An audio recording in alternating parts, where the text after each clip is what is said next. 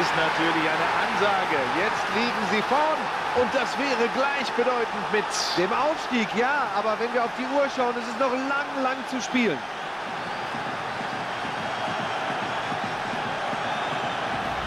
Was für ein toller Treffer aus ganz weiter Ferne. Und den hat er super getroffen. Und eigentlich müsste sich ja herumgesprochen haben, dass er aus dieser Entfernung brandgefährlich ist. Was